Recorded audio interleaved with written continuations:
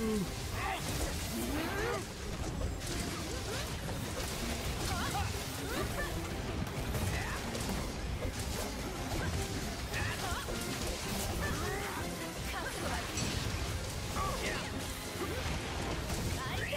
get to use balance a single time. It's really like the worst map for balance. Actually, the worst.